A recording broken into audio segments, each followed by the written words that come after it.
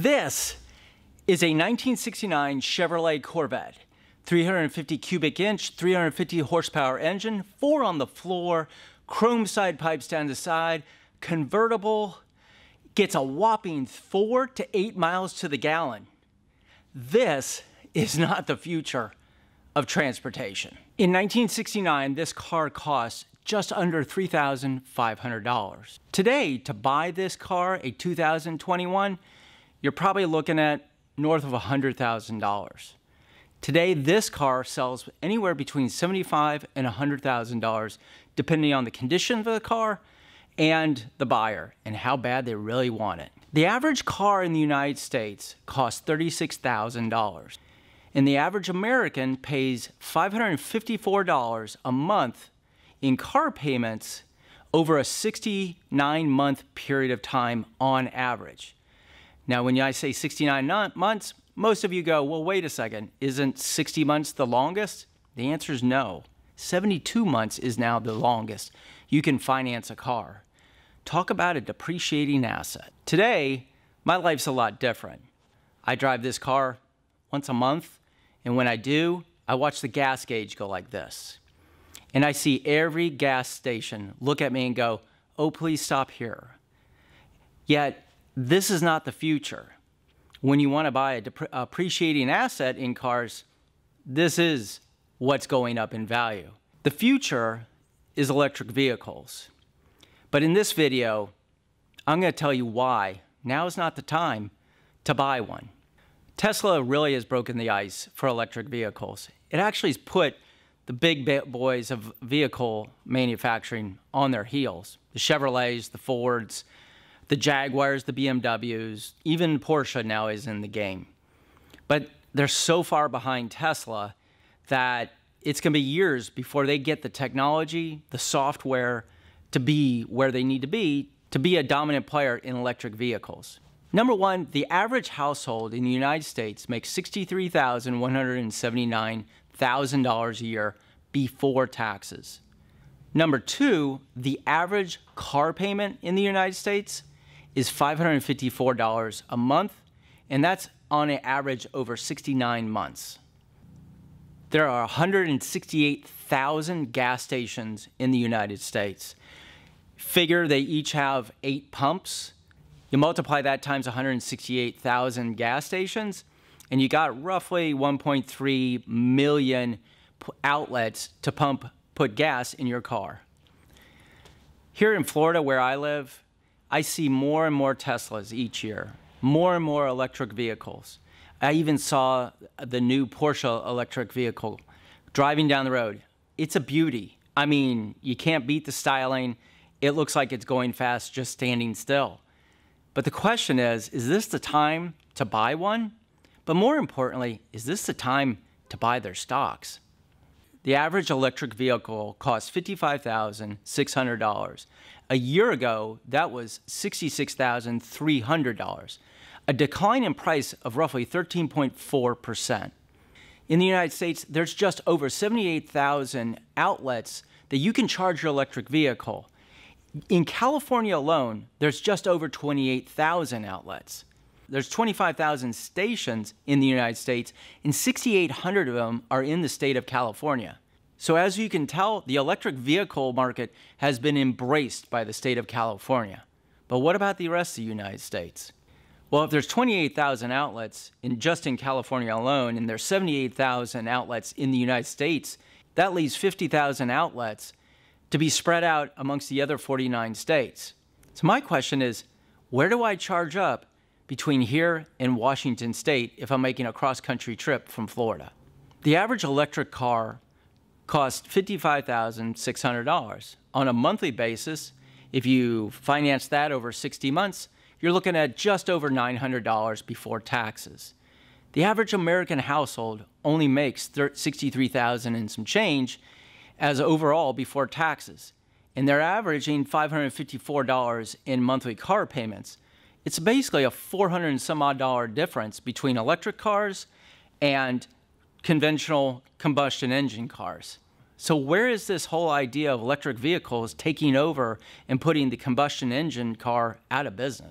According to my calculations, based on a 13.4% devaluation each year in the price of electric vehicle, it would be best for me to buy an electric vehicle in about five years to when the average electric vehicle is down around the average combustion engine car, around $36,000.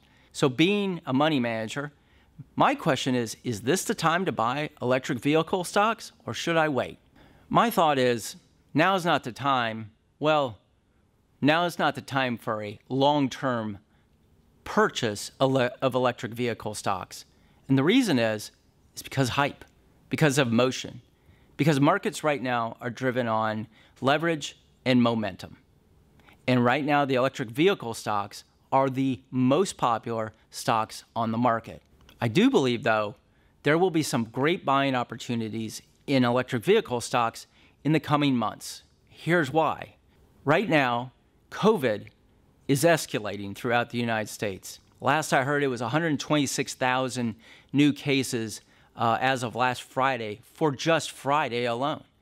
So, what that's telling me is that states like New York and Oregon are going to be, are the leaders in another shutdown. Well, what happens if we get shut down? What happens when I'm told to stay home? I have no use for a vehicle. I have no use for buying an electric vehicle for that matter. So the sales in vehicles in general should start to decline. So if you start to look at the electric vehicle stocks and you look at the run up they've had in the last month or so, maybe there's a better time in the near future to buy those stocks at lower values. I'm a big believer in risk ranges. Determining what that risk range is in that stock and then buying at the low end and selling at the top end. Now, for those long term investors who give me the argument, well, I'm just buying for the next five years, let's look at that. You have a devaluing uh, price amount, so it becomes more affordable. The number of electric car, cars purchased in the United States over the next five years will go up. I give you that. Number two, President elect Joe Biden has indicated that he will give a bigger tax credit for buying an electric vehicle. Cool. So that 55,000, how much of that do I get to write off on my tax return? And is that actually maybe a good tax strategy? Ask your CPA. But the stocks right now are being driven by high frequency trading and institutional traders who are not looking out 5 years. Rather, the institutional trader is looking out from 8:30 Central to 3 o'clock Central every day. That's all they look at. And if you have high frequency trading around these uh, electric vehicle stocks, well, they're not looking out long term. So, how should you look at buying and building a long term position in electric vehicle stocks? When I got in the business back in the late 90s, the big thing was tech stocks. Amazon was one of them, uh, along with many other tech companies. And I look at the price action on those companies during those really high emotional, high hyped periods of time, and people are buying at really, really high valuations, number one, but number two, real, real high prices. But when we got the market crash uh, from 2001 to 2003 in the tech bubble, you saw better opportunities to buy the Amazons, to buy the Apples of the world. And as we went through the housing crash from 07 to 09, or the great financial crisis, we saw another opportunity to buy these good companies that now today dominate and rule their area of expertise. My view of electric vehicles is it is the future. I will own an electric vehicle at some point in my life. Most likely, I'll have a house full of them because my whole family will eventually convert from a combustion engine environment, we'll still own this, to more of a electric vehicle environment. I mean, even solar is very interesting to me. It's just the price valuations of them right now. But also, I look at it as can I buy the electric vehicle stocks at a lower price? Looking at the valuations, the implied volatility premiums that these companies are running at, I look at them as an opportunity to wait and let them come down in value as the big institutional traders exit these stocks because of another COVID uh, uh, US shutdown, because another drop in sales of, of vehicles.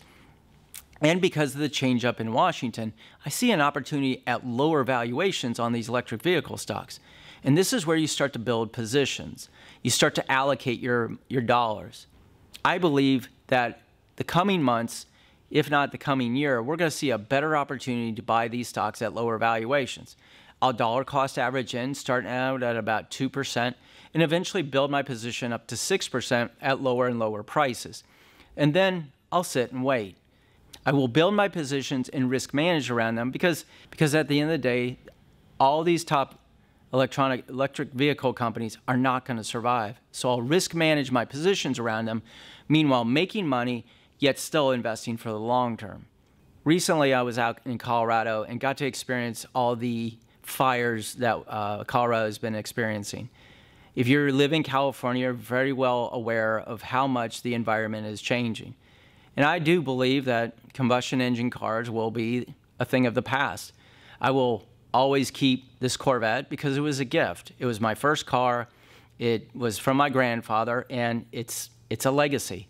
And when I pass on, I'll leave it to my children. Hopefully, they will respect it, understand it.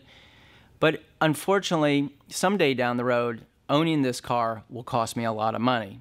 To put a license plate on it today costs me 75 bucks a year. I don't drive it much, doesn't cost me much in maintenance. But eventually, our governments, our government will tax this to force us out of combustion engine cars into electric vehicle cars. I see that starting to happen in about three to four years, where this car cost me $75 to put tags on it today, it'll cost me $750 down the road, and then $7,500, forcing me not to put tags on it, forcing me not to put it on the road, and in turn, doing some good for our environment.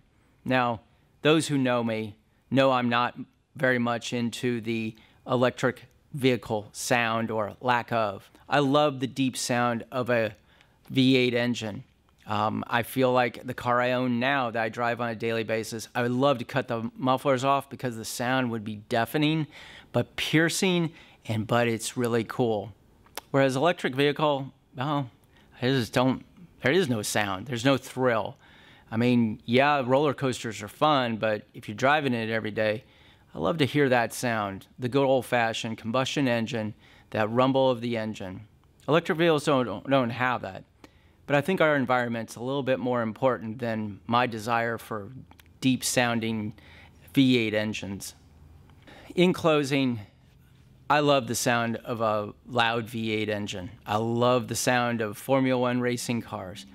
I don't love the lack of sound of electric vehicles.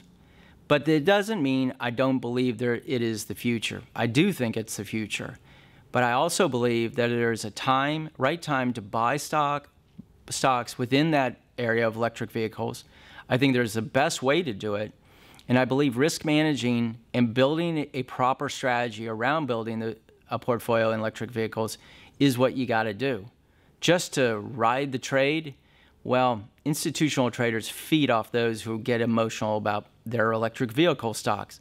Oh, you know, I'm okay with losing 30%. Well, you lose 30%, you got to get north of 50% return just to get back to zero. So if you're going to own them, do it right. Do it right.